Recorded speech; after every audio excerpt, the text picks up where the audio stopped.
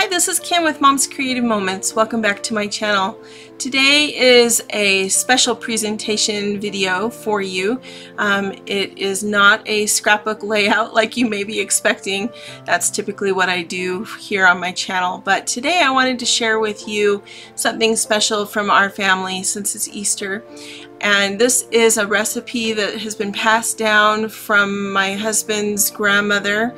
So um, four, I think we're working on four generations now of Spilman family members that have made these potato rolls.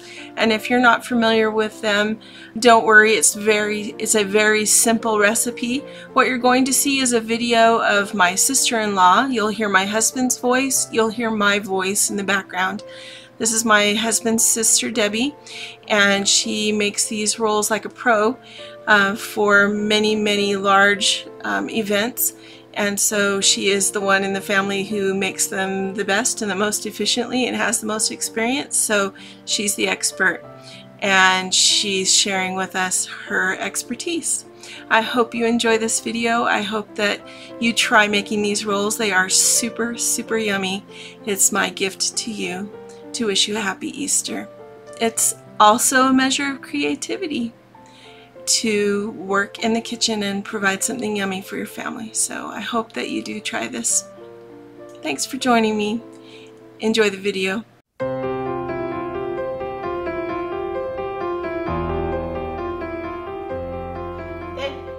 I'm going to be demonstrating how to make Grandma Henrietta Spilman's potato rolls and um, a lot of thing uh, one of the things people ask a lot about is the potato in the recipe. Um, i've done the potatoes for the recipe a lot of different ways. These were just uh, rinsed off and microwaved. You can also peel them and boil them or bake them it's all the same. You just need a cup of mashed potatoes. So i'm just going to peel them doesn't matter what kind of potatoes you use yeah, I've used all different kinds of potatoes. These happen to be yellow potatoes because I like yellow potatoes. I've used red potatoes, russet potatoes, doesn't matter. Just, and actually, um, if you look at the taro roll recipes, those are kind of similar. They just use taro root um, in the same way that this recipe is going to use potatoes to add um, kind of um, a moisture to the rolls. And they're also a little bit of a denser roll. So that is what's going on. Just peeling them. And then honestly mashing them. I have a fork here but more often than not I don't use it and then just Put it in a one cup measuring. It's not very complicated.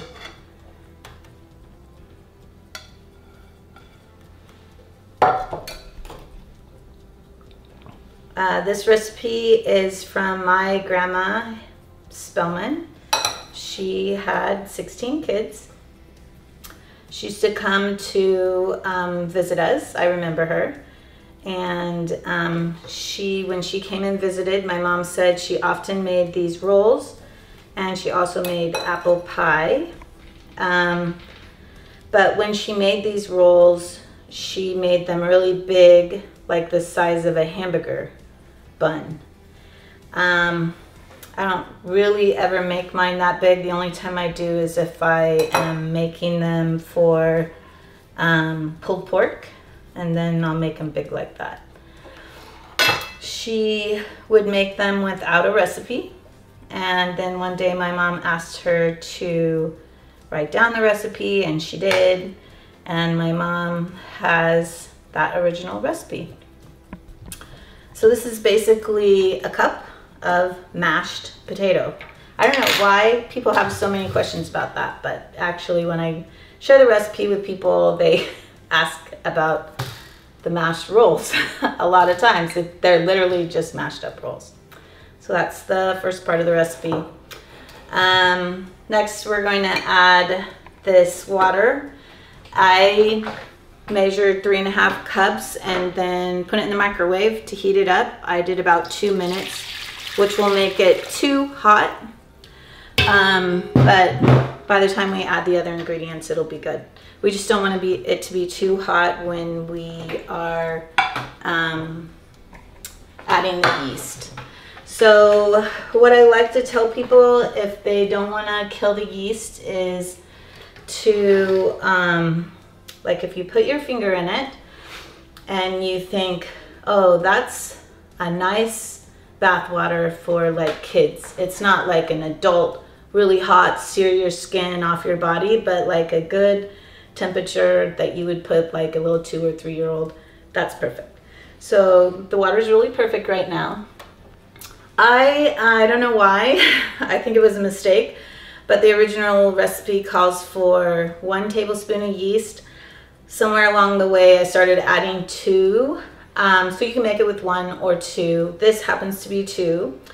So since the temperature is good, I'm filling it. I'm like, whoa, that's good water. It's not too hot, not too cold. I'm just gonna put the yeast, sprinkle yeast on the top of the water. What if, kind of yeast is that? This is a rapid, um, I can get, I'll get the container and show it to you. Um, it's just, I think, no, it's not the rapid rise. It's just, this is active dry yeast, not the rapid rise, kind. So this just happens to be Red Star. When I lived in California, I bought the big containers of it you can get from Costco. But that's what that is, and I keep it in the fridge. And um, it calls for one cup of sugar. So I'm gonna put that in. It calls for... Why do you sprinkle it around instead of just pour it all in? I don't know, makes me happy. I don't know. the sugar feeds the yeast. Yeah, the sugar. contact with all of Yeah, the sugar. Just sprinkle the yeast. And the gluten and the sugar both feed the yeast. Yeah. And then this is a tablespoon of salt, and I'm sprinkling it because it makes me happy.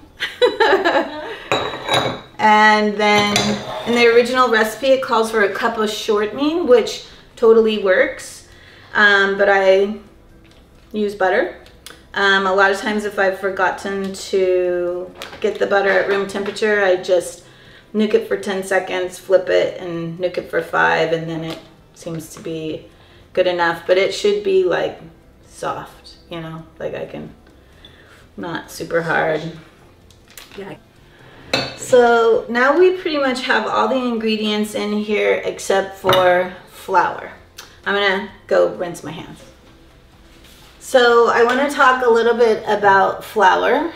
Um, I've had lots of people call me after trying to make the recipe and they have different problems. Uh, this is my advice about flour.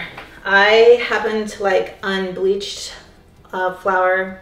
I don't buy the bread flour necessarily. I have used it, but I don't buy it on purpose. So this is unbleached flour. Um, so it's unbleached, all-purpose. All-purpose. And then when you're using it, a lot of times in a lot of recipes, it'll say to sift it. I don't really sift it. I just stir it up a little. You're just wanting to get the air. Like, I don't know if you can see this flour. It's really full of air. It's not really compacted. It's like really fluffy, full, fluffy flour. So that's what you want. And the recipe tells you to add in four of the 12 cups of flour. So you don't pack it down? Yeah, not packed at all. It's just, I'm just sliding it off the top so it's kind of flat. And then we got our four cups.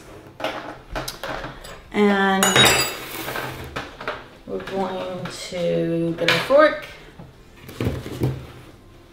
and just stir it and kind of smash in the butter and the rolls. Can you do this with a mixer? Yeah, actually, um, up at girls camp when we were making these, we used the mixer. Um, but I, I never really have in the home. I just always do it by hand. And if I have to do a lot of batches of these rolls, I just do a lot of different bowls of rolls. so Have you ever tried using a hand mixer?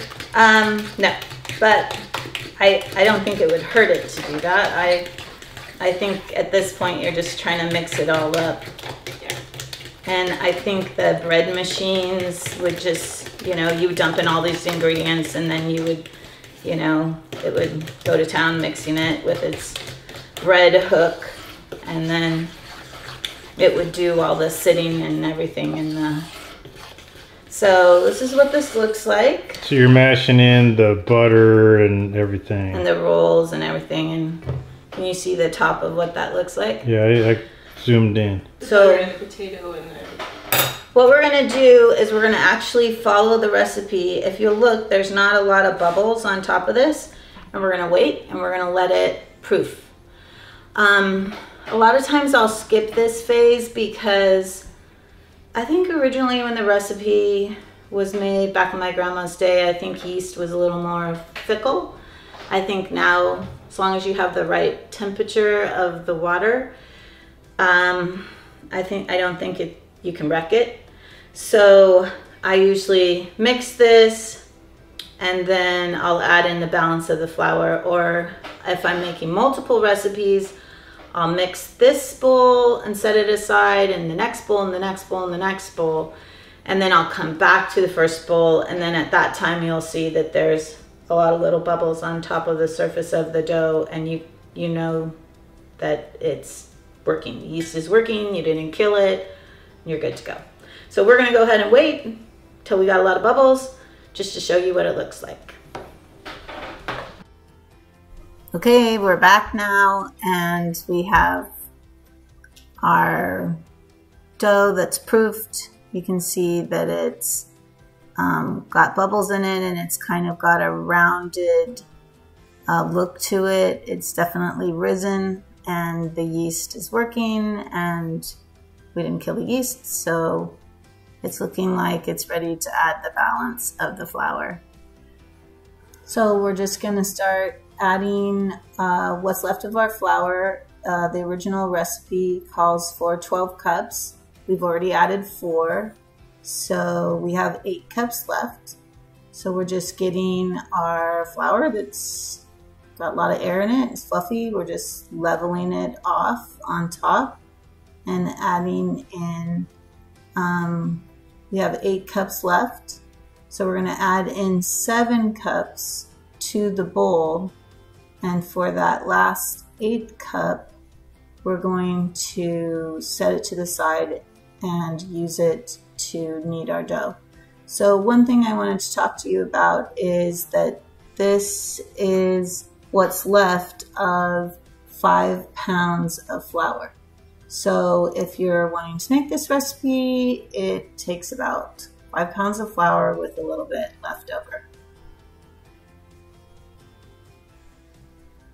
All right, so next we're going to be kneading this in and uh, I don't like to get my hands super sticky, so I'm going to talk to you a little bit about um, how I knead the flour into the dough and what that looks like.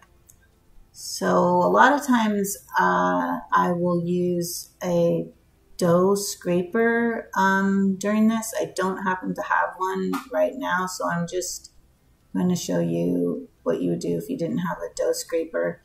I'm just using a fork and uh, mixing this all in and getting it just mixed up with all the flour that's in the bowl mixed in with the dough and it's getting stiffer and stiffer as we go.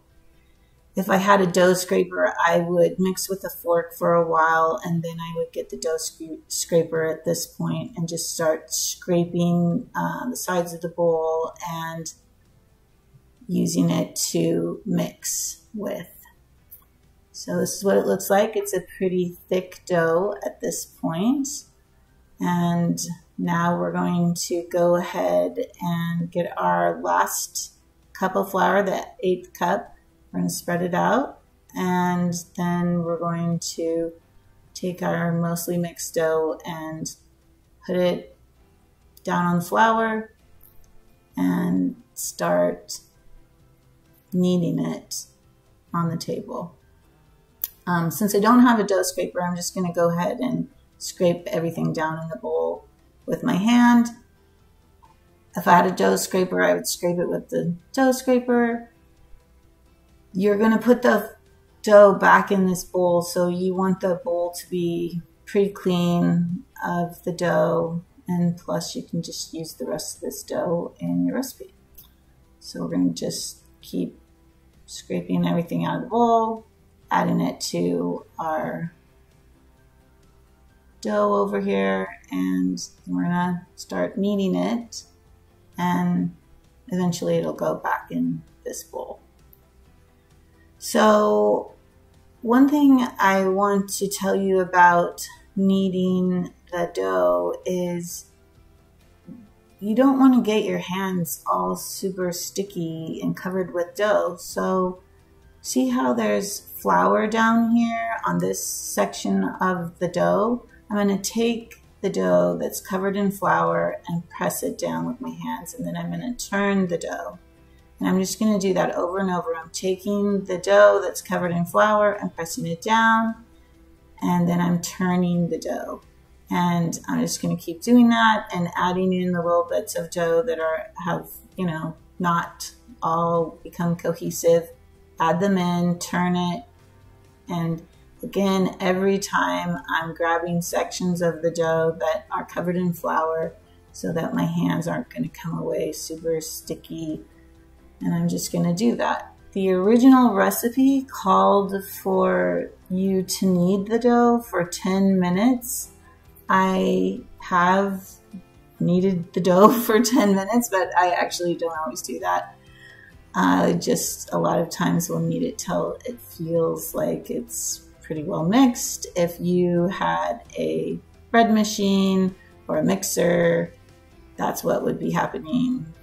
You know, if you had it in your bread machine, it would be being kneaded by the dough hook. But I've always just done it by hand, and it it's not going to hurt you to take a look at a clock and go, okay, I'm you know, been kneading for about eight minutes. That's good. The, you can't hurt it by kneading too much. So we're just gonna knead the dough.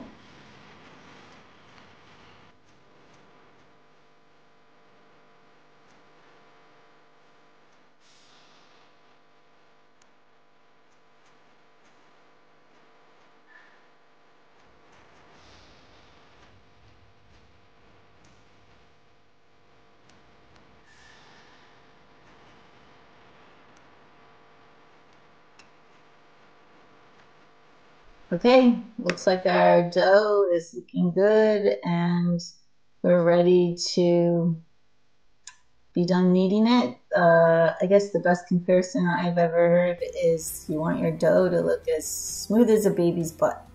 So that's what we got here. We're just gonna pick it up, put it in the bowl. I don't grease the bowl or add anything into the bowl. I just plop it right back in there and I'm going to add some saran wrap on top of it. Some people add a put cover it with a cloth. I have done that. Um, there's nothing wrong with that, but I guess I'm just used to using the saran wrap, and I'll just put it over the top, and we're gonna get it covered so that it can rise. If you don't put saran wrap or a cloth over the top of it, what you wind up with is a crust on top of your dough that you're not going to want. Okay, so now that we have our dough all done, we have it covered, we just need to let it rise. And depending on the temperature of your house, it usually takes about an hour. Some people will do different things to try to help it be warm and to rise, set it in the sun, or I think I've heard of people putting it in on their dryer. We're just going to set it on our counter and let it rise. Okay, we're back with our dough. It's uh, risen really well for us. It We actually probably left it too long and it rose a lot. Uh, this is probably more than it needed to rise. We uh, had a little lunch break in between and Now we have our beautiful dough that's risen perfectly and we are going to punch it down. And some of my kids take that quite literally and have just punched it, but it's not necessary. You're just basically collapsing it so that it can rise again. And this is really heavy dough, so you want to have all these times that it rises. So we're just gonna smash it all down. We're gonna go around the bowl, pressing it down, getting the air out so that it has a chance to rise again. And that's gonna help our doughs, um, our rolls be nice and fluffy, even though they're kind of a heavy dough. So we're gonna cover it with the saran wrap again and let it rise for probably another hour. Okay, so we're back and um, we're ready to work the dough onto the pans. So these are um, bun pans. I have three. One batch will make 45 rolls. And I have some butter for the pans and for my hands. And then this is something I purchased on Amazon because they also make me super happy. They allow you to make a lot of rolls without using up all your counter space. So you can put um, quite a few pans on here and then you don't have to have them spread out all over your kitchen. So I like these a lot. And um, I'm gonna go ahead and show you working them onto the pan. So I'm gonna take my first pan and just put a tiny bit of butter on it.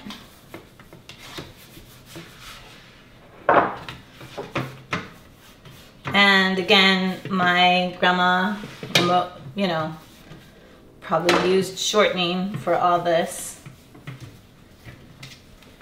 We're just using butter. And then we're just gonna, uh, so I have butter on my hands just from greasing the pan. Now I have a lot more, but we're just gonna pinch off dough. The, I, I really have no idea why I make rolls this way, but this is how I do it. And I've actually watched um, some videos online of other people making rolls. They don't do it like this, but I make it flat. And then I pinch it all together.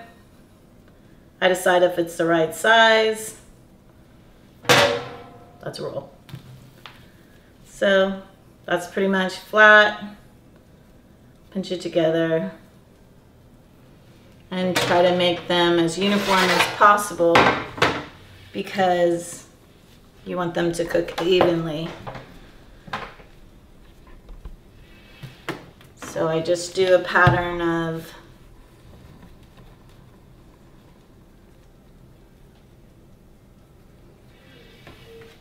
three, two, three, two.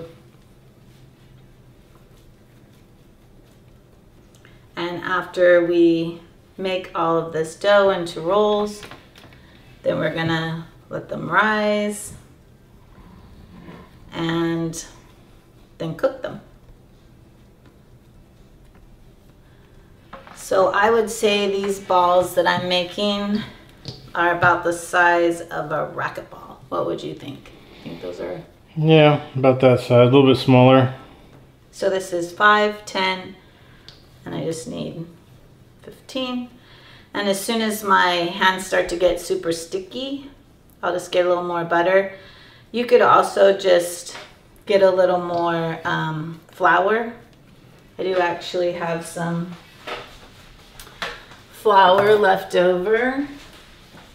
So you can do either, both work to just put some flour on my hands Again, you're just flattening it, pinching it, trying to get it to be, and then I, I know that they're gonna work out good to just have 15 on the pan. So So if they um, rise up and touch each other, is that okay? yeah, sometimes I'll make them bigger. Um, I have on occasion made them a tiny bit smaller when I didn't have. Um, I wanted to get more rolls out of a smaller amount. The problems that I've encountered is so let's say I'm making, you know, 500, 250 rolls, something like that. And I just have batch after batch after batch. Then if I'm cooking them, I can only cook them one at a time. Then I have sometimes by the time you get to those last rolls, they're like as big as your head. Because the So- yeast is still. It's still rising.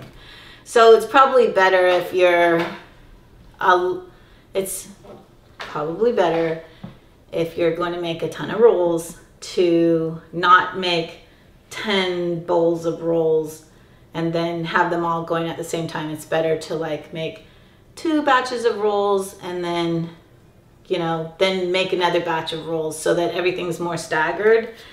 But I'm usually pretty, I'm usually like, no, I don't want to, you know, start over again. I just want to make them all at the same time. So, Because you're saying the amount of time to cook these rolls overall is five hours. well, from start to finish, it takes five hours, just because around five hours. It that's not time that you're working the whole time. It's just the time that if you start, rise and all yeah, if you start the rolls five hours later, you'll have all the rolls baked. Um, and you're the only time you're really working very hard is when you're putting in the ingredients, when you're kneading, and then when you're making the rolls. The rest of the time is just you can go about your day and do whatever. Or sleeping, I'll do it sometimes at night where I'm sleeping. I'll get up, I'll punch down the dough, or I'll get up in the morning and punch it down. So it seems labor intensive, but really it's more a lot of time spent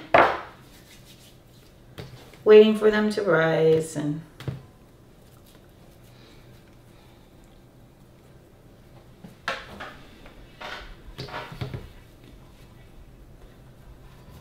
and you cook them the same way the recipe the original recipe says 375 for depending on the oven um, 13 to 15 minutes. You want them to be not overcooked on the bottom and not too brown on top.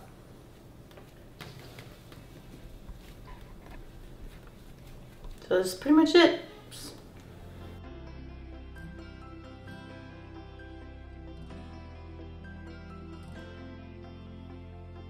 Can you fill those? Can you put stuff in those? Uh, yeah, I haven't really ever tried to do that. I will mention I did pick out like a big plump of potato, and you probably noticed when I made the rolls that I really didn't care much about clunks of potato or clunks of butter or whatever. I just, you know, by the time you it a bunch and punch it down and make it into rolls, there's just not, like that's the only little bit. And actually I could have just left that in there. So again, I'm just doing, you know, three sets of five. So that's done. And these over here look like they're already starting to rise a little bit. Yeah.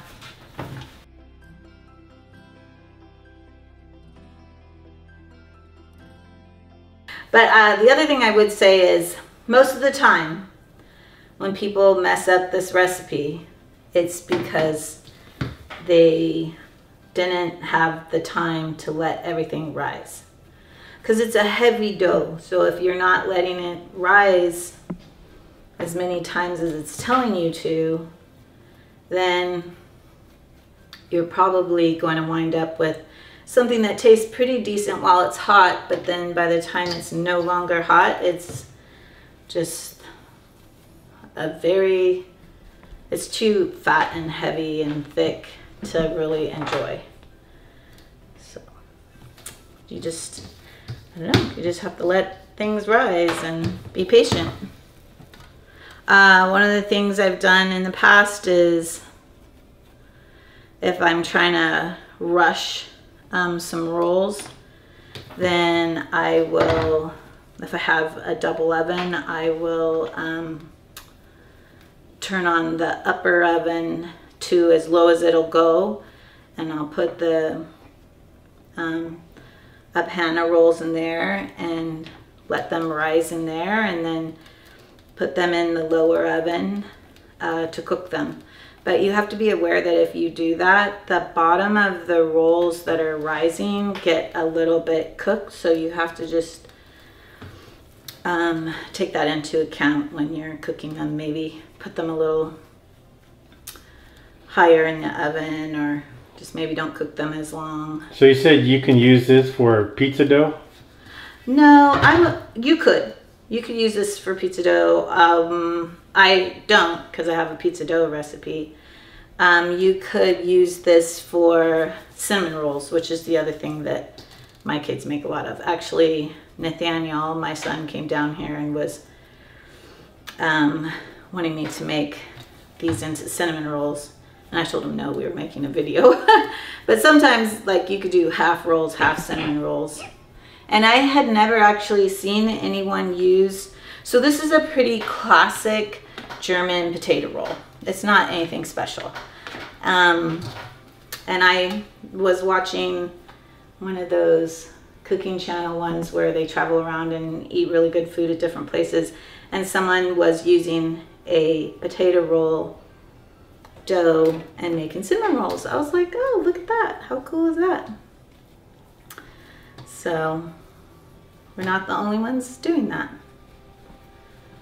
So we'll see if our figurine comes out good. I think I may not have exactly 45, but we'll have close. You're pretty close. Yeah. Oh, it's actually perfect. And the reason why it came out to 45 is because I have made these rolls so many times. Now we're gonna let them rise. How long do you let them rise? Probably about an hour. Same thing. So. So this last one, it wasn't an hour when you started doing this. No, probably because we let them rise so much Before. the first time. so. Okay. All right. It's a terrible oven. but our rolls are pretty much ready. Um, they'll raise some more in the oven. 375 in the oven, probably about 13 to 15 minutes, depending on your oven.